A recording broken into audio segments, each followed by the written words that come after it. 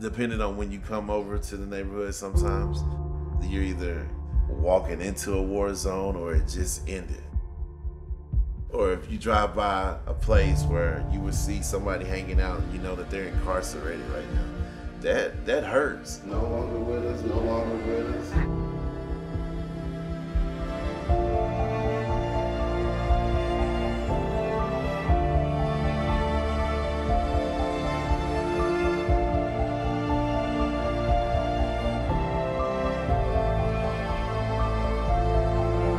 we shall overcome. We can overcome. God did not intend us to live in hell and then die and go to hell.